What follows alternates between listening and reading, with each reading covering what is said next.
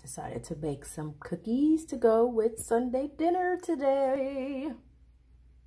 All right, so I'm not a big fan of using salad forks. That's like dirtying up forks for no reason. But we have the salad, avocado, and egg.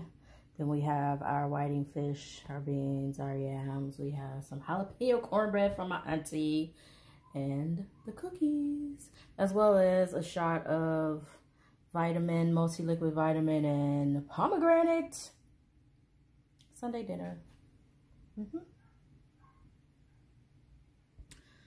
So, like, really, what is the point of the smaller fork, the salad fork? They say you're supposed to be able to pick up easier.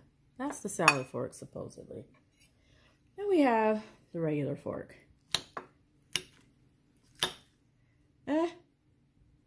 Same.